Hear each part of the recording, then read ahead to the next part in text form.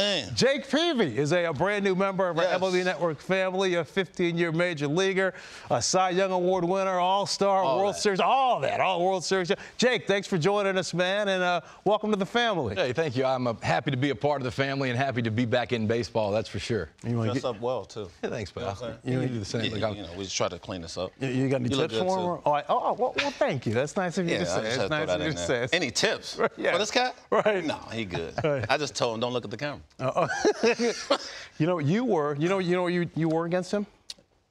No, I know I clicked him once. Okay, okay. That's Maybe true. once. At least once. Nah, no, just- only once. just Hey, once. Three for he was 12. really good. Don't be modest, dog. Three- Uh, look, I saw Mike Lowell at the, at the hotel last night. We got in a conversation. I said, Mike, do you remember you clipping me twice down in, in Miami? He said, Yeah, Jake, I do remember. that." But here's the thing. Here's one thing that Jake has over you. He's still playing. Yeah. You you, you couldn't still play right now. Ain't no way.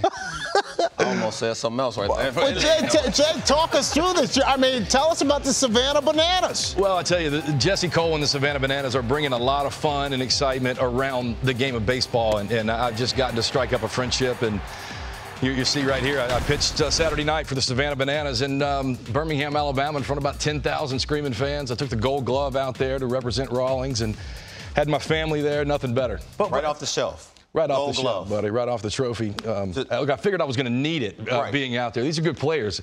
Uh, it's a lot of fun. When you're out at the ballpark and have fun, what's better than that? Right. And, and that is what the Savannah Bananas are about. And, and look, So let I- me ask you one question. Yeah. Did you hurt the next day? Oh, God, Cliff, I'm still hurting. So I could do it then. you could, for sure. How, how excited were uh, the was the opposing team, the players on there, to be able to face Jake Peavy? Well, I think it's fun. I've gotten to know these guys over this last little bit of, of a world tour. And uh, again, this is my second year being involved with what Jesse and those guys are doing.